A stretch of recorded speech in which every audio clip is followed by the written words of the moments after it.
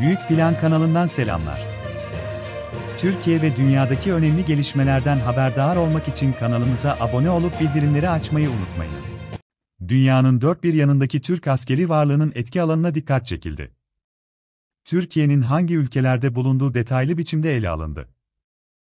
Türkiye, dünyanın dört bir yanında hem üstleriyle hem de verdiği eğitimlerle askeri varlık gösteriyor. Amerika Birleşik Devletleri basınından Bloomberg, Türk Silahlı Kuvvetleri'nin küresel ayak izinin genişlemekte olduğunu yazdı.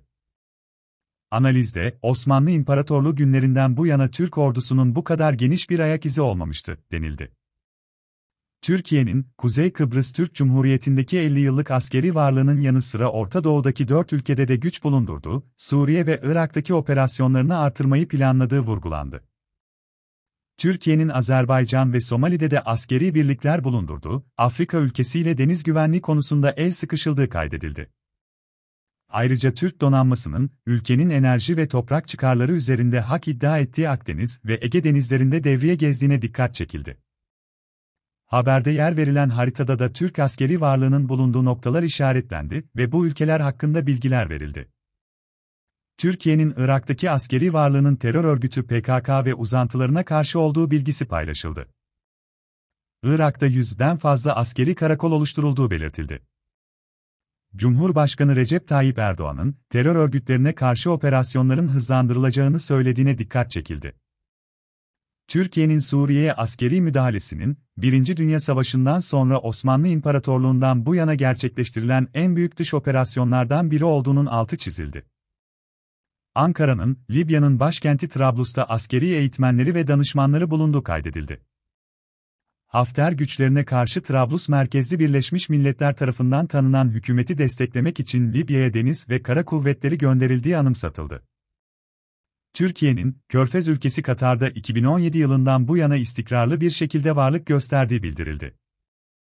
Haberde, Türkiye ve Katar'ın, 2022 yılında yürürlüğe giren bir anlaşmayla güvenlik bağlarını derinleştirdi, denilerek şu bilgilere yer verildi.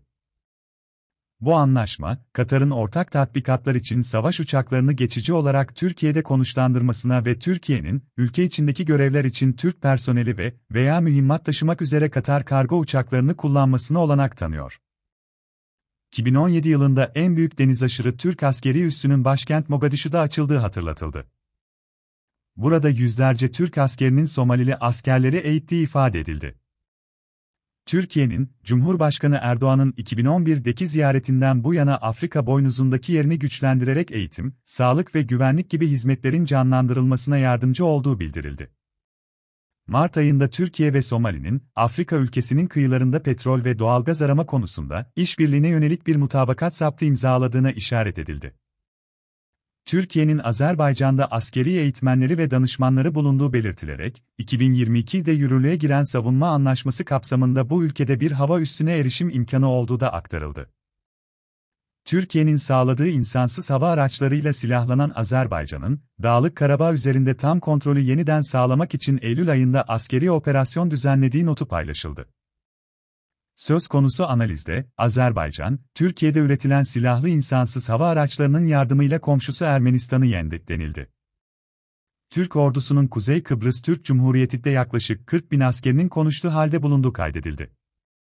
Türk birliklerinin 1974'ten bu yana adanın kuzeyinde varlık gösterdiği ifade edildi. Türkiye'nin 425 bin askerlik gücüyle Kuzey Atlantik Antlaşması örgütü olan NATO'nun personel bakımından en büyük ikinci ordusuna sahip olduğuna dikkat çekilerek şunlar aktarıldı. Kosova'da NATO liderliğindeki barışı koruma misyonuna katılmaya devam ediyor. Bosna Hersek'te Avrupa Birliği tarafından yönetilen ve buradaki Türk topluluklarının korunmasına yardımcı olmayı amaçlayan misyona katılıyor. Analizde ayrıca Türk askeri eğitmenleri Gambiya ve Mali'de bulunuyor denildi.